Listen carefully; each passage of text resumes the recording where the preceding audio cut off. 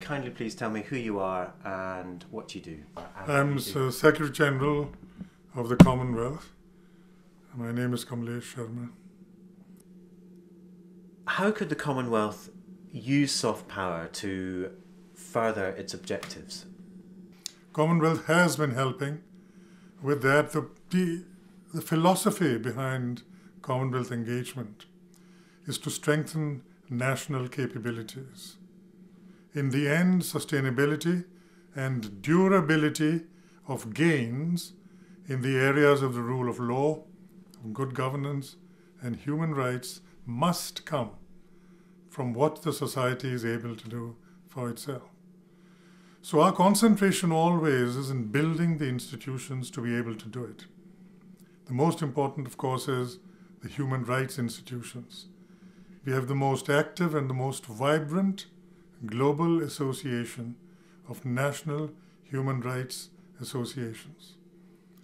Peer level learning from what is happening elsewhere uh, successfully is one of the most important ingredients of confidence that you have that we have been created to do a similar thing and we can do it better.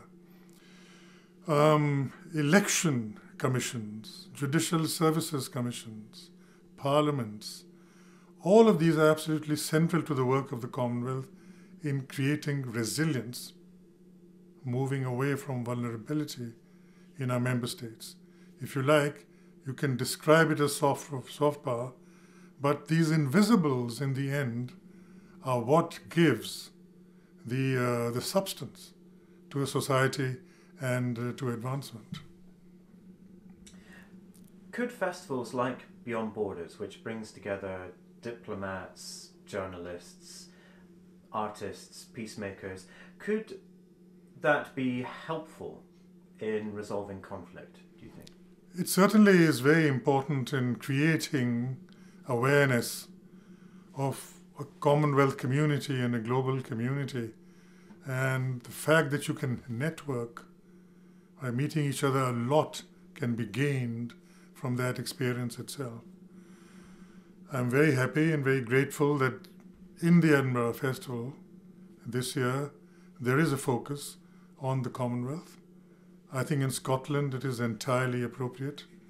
Scotland, in fact, has held in Edinburgh a summit of our leaders, heads of governments, and it was a very successful one in 1997 when the decision, for instance, was taken to create the Commonwealth Business Council and how to involve the private sector. Scotland is also uh, remarkable in having hosted two Commonwealth Games, once in Edinburgh and once recently in Glasgow. There are many activities which we do in our networking. We are very proud of our convening power. The Commonwealth family is as important as the intergovernmental framework of the Commonwealth. We have 90 odd bodies active. Universities are extremely important in this framework.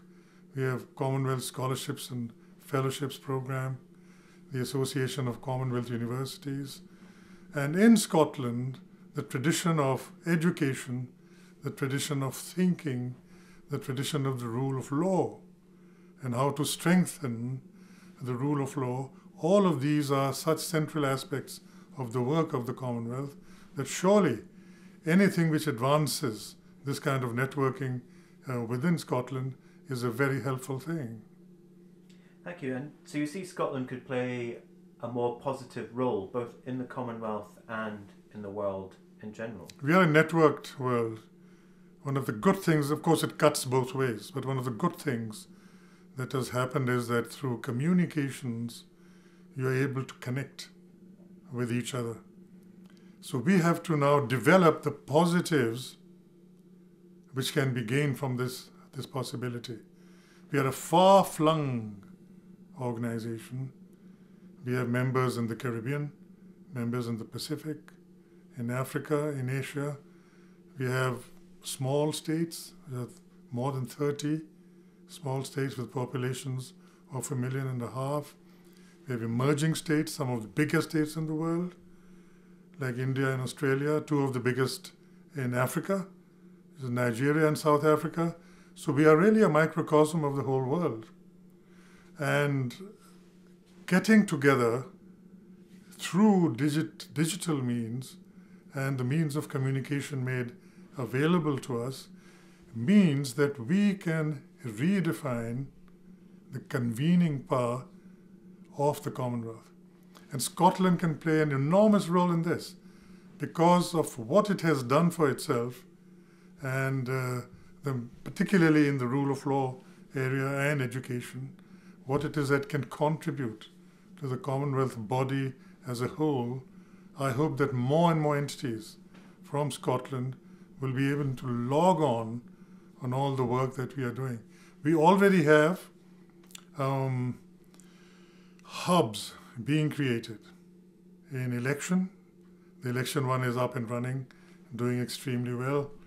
The next one is on environment. Health is about to be launched.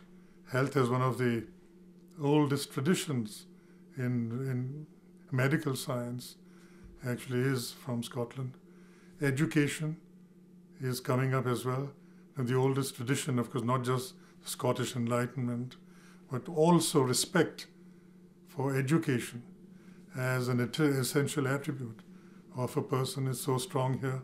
So I'm hopeful that when these hubs are up and running, and some of them are, Scotland would be one of the main drivers.